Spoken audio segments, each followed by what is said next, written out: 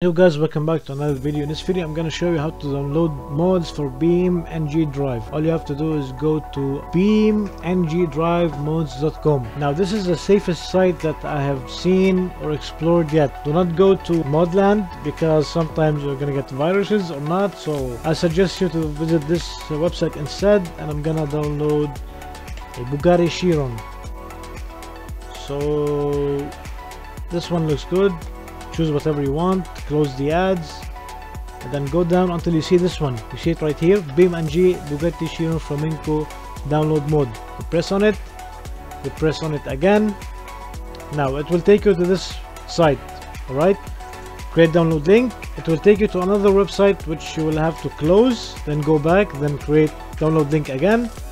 And then you can download your file now here i'm gonna put it in downloads and just save it as zip file all right? Now wait until it's done. All right now it's done. Go to your this pc go to your files. Now it's here all right? I want you to open another file file explorer. Go to documents go to beamng.drive moved here mods all right guys? Now go back to your downloads and take the Bugatti Chiron or whatever you had downloaded and put it here. Now that it's here, let's open up the game. Now that you're in the game, go to vehicles and it should, oh yeah, it is here, my jeez.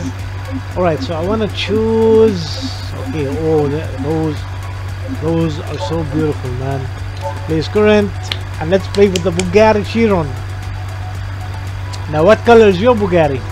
Now we have to wait for a bit. Uh -huh. And here is my Bugatti waiting for me to drive it.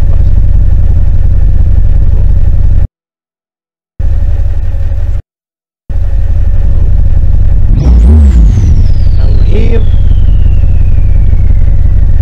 Now here's my Bugatti and there you go guys. That's how you download mods for Beam and G.Drive.